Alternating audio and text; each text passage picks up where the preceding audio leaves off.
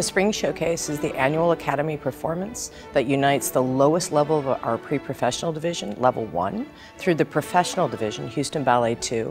Audiences can expect to see a mix of classical and contemporary repertoire. This year, they will be performing Claudio Munoz's classical ballet Raymonda, as well as Stanton Welch's Ladies and Gentlemen. And the final piece of the performance will be studies. The performance teaches them teamwork and goals, and the choreography is challenging but age appropriate. This will give a chance for the audiences to see some new dancers and new talent. It's really exciting.